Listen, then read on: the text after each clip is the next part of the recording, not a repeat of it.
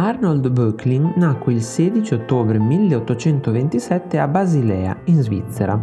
Il suo periodo di apprendistato, che durò fino al 1850, lo vide studente all'Accademia di Belle Arti di Düsseldorf. Nel 1848 si trasferì a Parigi, dove ebbe l'opportunità di entrare in contatto con l'opera di artisti del calibro di Corot, Delacroix e Couture.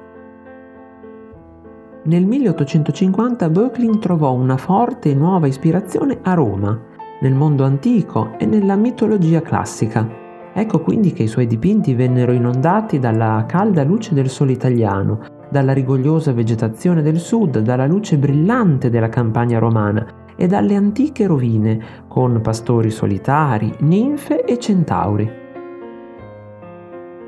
Al suo rientro a Basilea, con la moglie italiana Angela Pascucci, completò il quadro che lo portò alla fama, quando il re Ludwig di Baviera lo acquistò nel 1858.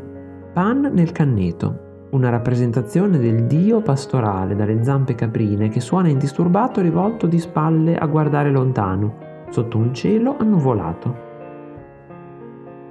Questo dipinto segnò l'inizio del suo interesse per il mondo delle ninfe, delle naiadi e dei tritoni, che diede in alcuni casi esiti al limite dell'assurdo. In seguito però il suo stile si fece più cupo e carico di misticismo, avvicinandosi al movimento simbolista. L'artista insegnò presso l'Accademia di Belle Arti di Weimar nel periodo tra il 1860 e il 1862 e nel 1866 dipinse gli affreschi e modellò le maschere grottesche per la facciata del museo di Basilea. Soggiornò a Firenze dal 1874 al 1885 e questo fu senz'altro il suo periodo più attivo, continuando a esplorare il rapporto uomo-donna, alternando scene religiose alle allegorie dei poteri della natura.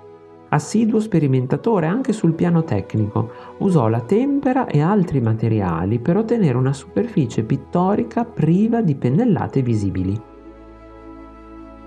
Sicuramente è un artista molto conosciuto al vasto pubblico soprattutto per le sue cinque versioni dell'Isola dei Morti e per capolavori come Rovina sul mare o Il Bosco Sacro o ancora Ulisse e Calipso.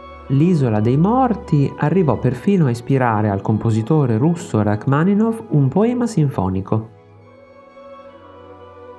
A seguito di un ictus nel 1892 e a causa della sua salute cagionevole tornò in Italia, acquistò una villa a Fiesole e lì morì il 16 gennaio 1901.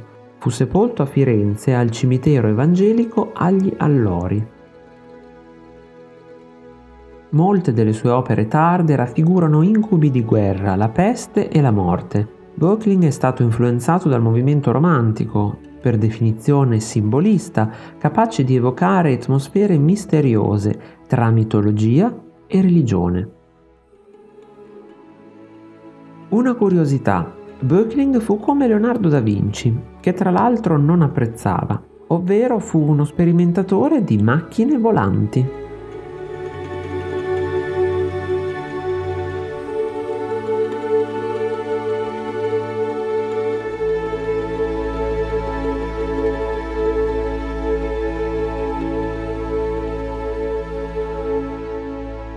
Se il video ti è piaciuto lasciami un like qui sotto e scrivi nei commenti le tue opinioni, le tue impressioni e magari anche i suggerimenti per i prossimi argomenti da trattare insieme.